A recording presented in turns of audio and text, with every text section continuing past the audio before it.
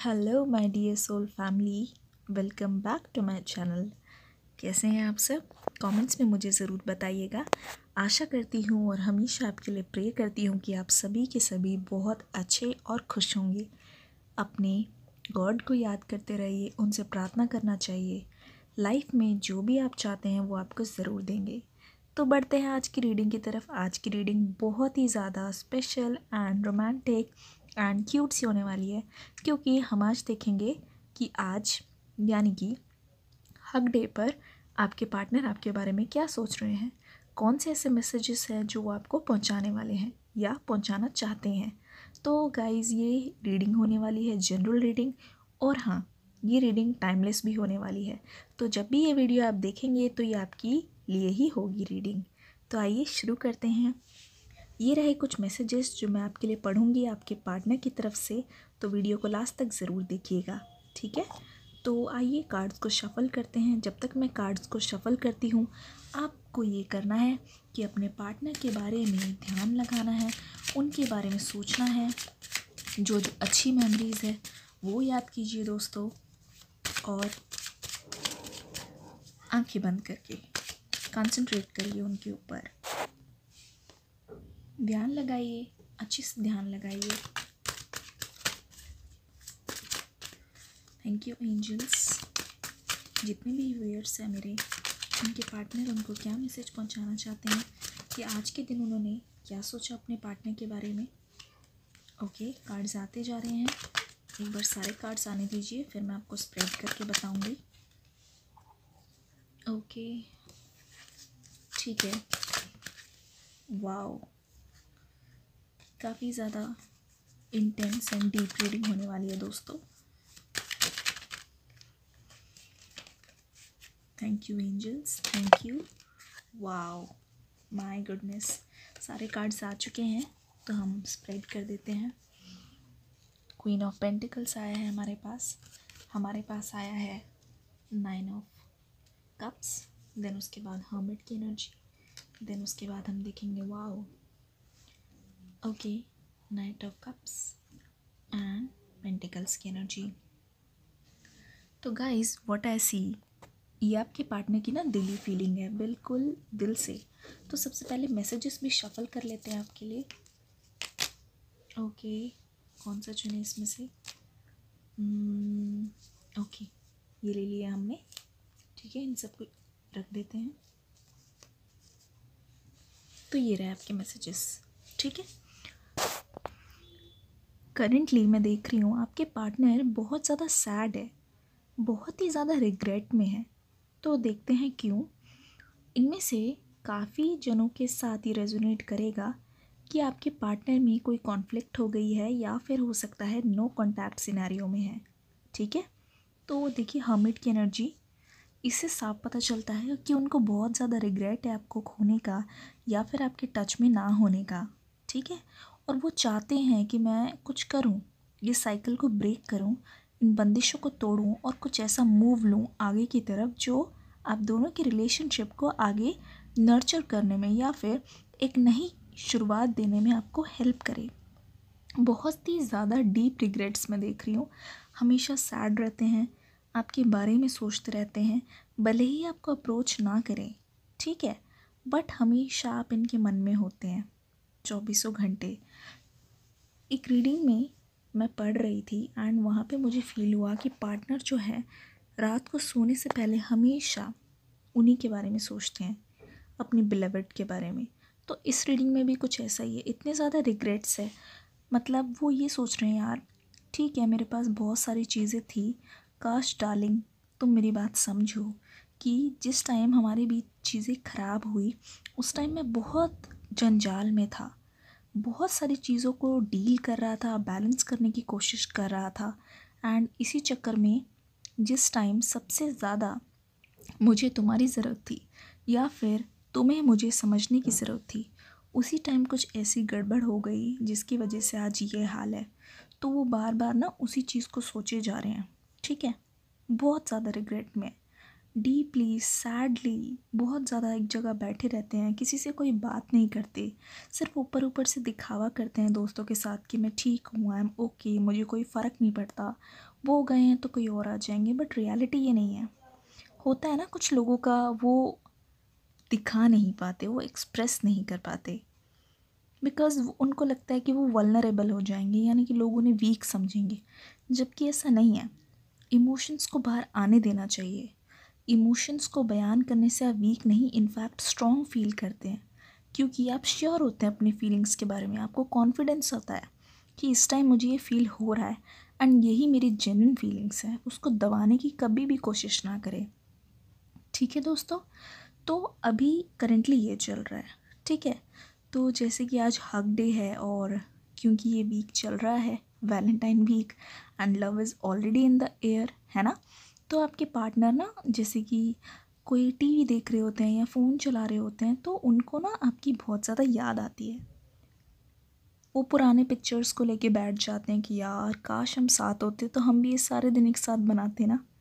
या बात करते, या कहीं मिलने जाते, घूमने जाते, हो सकता है कि आपने पहले भी इनके साथ वैलेंटाइंस डे स्पेंड किया हो तो उनको वो चीज़ याद आ रही है कि कैसे हम यार जाते, यार कितने मज़े करते ना।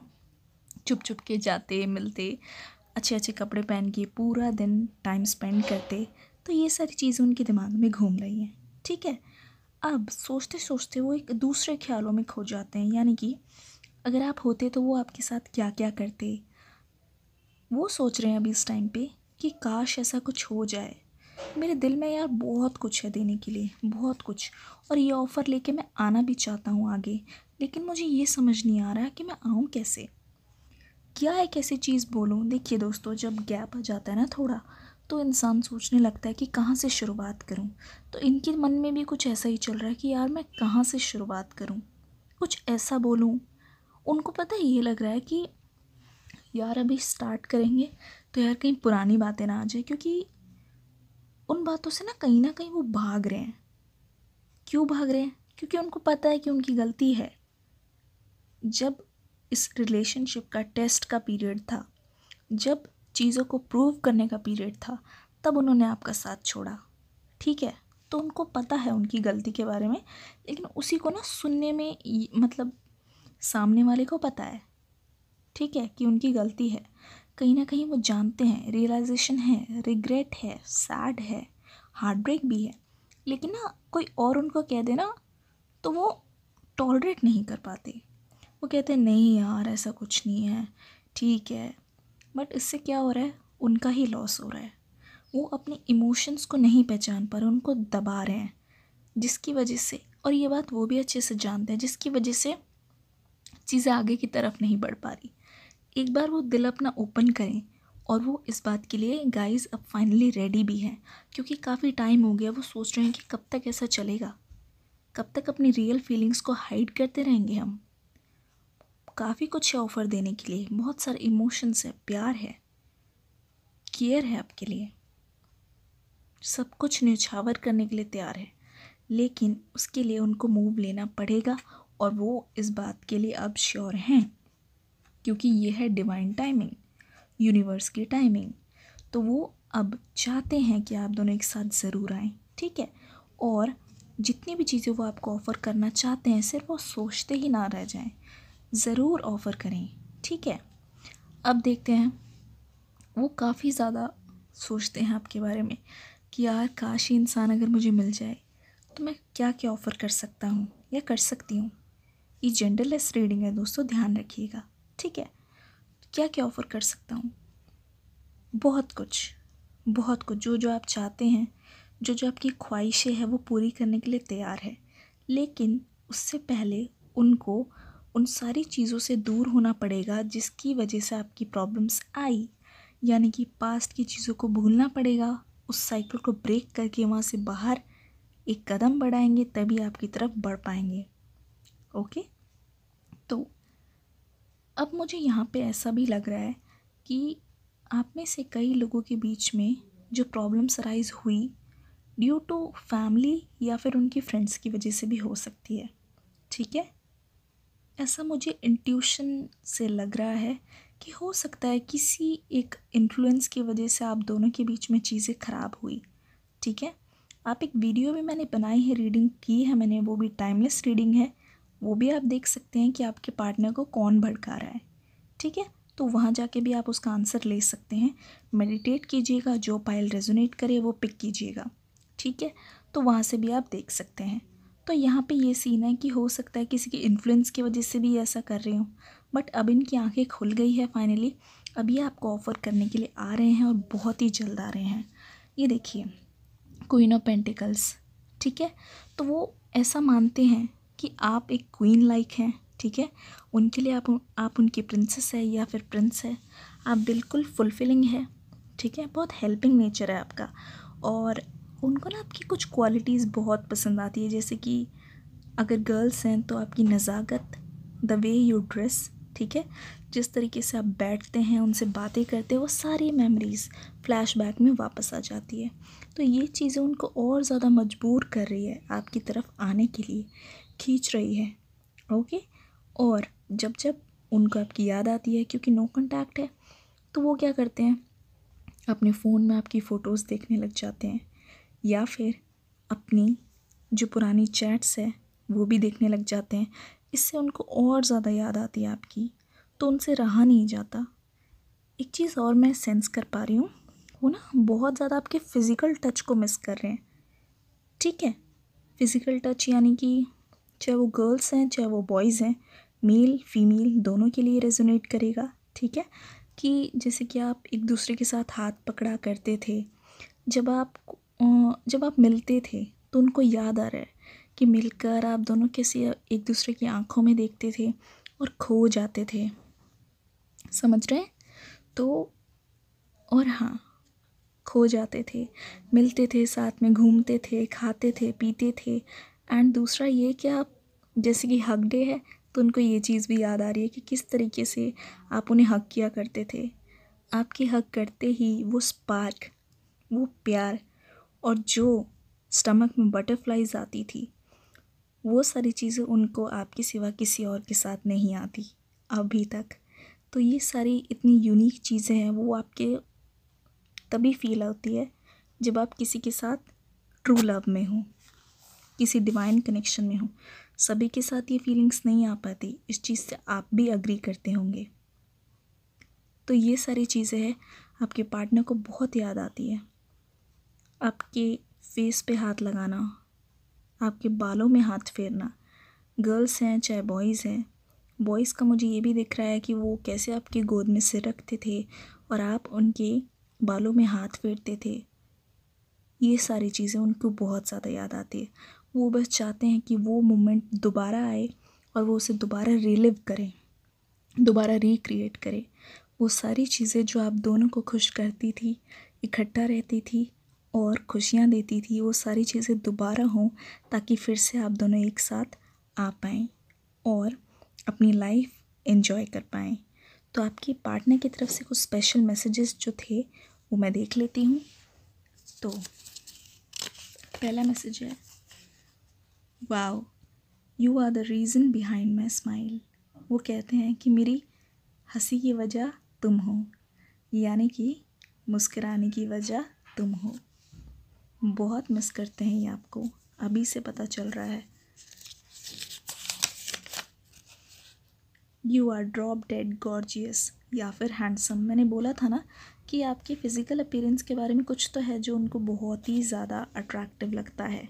वो कहते हैं कि आप बहुत ही ज़्यादा खूबसूरत हैं या फिर हैंडसम हैं। Something about your body and your appearance oh my God I am yours forever मैं सदैव या सदा के लिए तुम्हारा हूँ। यानी कि आप दोनों को कोई भी चीज़ अलग नहीं कर सकती और अब तो आप दोनों को कोई भी चीज़ एक होने से नहीं रोक सकती। वाह I don't like when others see you देख रहे हैं दोस्तों, कितनी जेलसी वाली या पॉजिटिव नेचर है उनका। यानी कि आपके पार्टनर को लगता है कि आप सिर्फ़ और सिर्फ़ उनके हैं और उन पर या फिर आप पर सिर्फ़ उन्हीं का ही हक है। कोई और आपको देखे या फिर आपकी तरफ़ ध्यान दे तो उनको पता या पसंद नहीं है। तो ये सारी चीज़ें हैं जो उसी को फील होती है जो आपसे सच्चा प्यार करता है। तो ये सारी चीज़ें आपके पार्टनर के मन में चल रही है, कहीं वो किसी और के साथ तो नहीं है। उनको कोई और तो नहीं देख रहा तो वो चीज़ उन्हें पसंद नहीं आती। एक इनसिक्योरिटी सी या फिर एक जलसी सी, कहते हैं ना, प्यार का खुमार, कुछ ऐसा ही फील होता है। कि काश वो भी मेरे साथ होते तो मैं दुनिया की नज़रों से बचा लेता, मैं उसे बचा के रखती। ये सारी बातें। कुछ और डीपली हम उनके कुछ और स्पेशल मैसेज देख लेते हैं।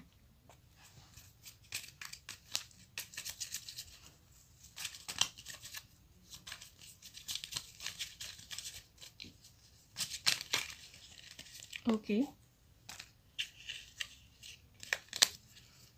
डियर एंजल्स उनकी पर्सन की तरफ़ से हिडन मैसेजेस बताइए हमें। ठीक है, और मैसेजेस आ गए हैं।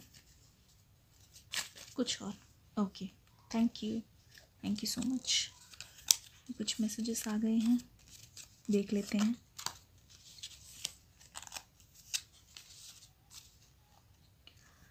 Nothing makes me happier than holding your hands मैंने दोस्तों अभी थोड़ी देर पहले मेंशन किया था कि उनको अब दोनों का हाथ पकड़ने वाली यादें, साथ में घूमने वाली यादें सताती है। तो यही है कि वो कह रहे हैं कि इससे ज़्यादा मुझे कुछ भी खुशी नहीं देता कि तुम्हारा और मेरा हाथ पकड़ना फ़िज़िकल टच नेक्स्ट देखते हैं। You would do anything to make me happy तो ये चीज़ आपकी बहुत अच्छी लगती है कि कैसे आप उन्हें हंसाने के लिए या खुश करने के लिए कुछ भी कर जाते हैं। Wow next is your patience is unreal वो यही सोच रहे हैं, यार, इतना सब कुछ हो गया, इस बंदे में या इस बंदी में कितना ज़्यादा पेशेंस है कि अभी तक चीज़ें ख़राब नहीं हुई और वो मेरा वेट कर रहे हैं कि मैं कैसे उनके पास आऊँ और अप्रोच करूँ. तो ये अदा आपकी बहुत अच्छी लगती है उन्हें।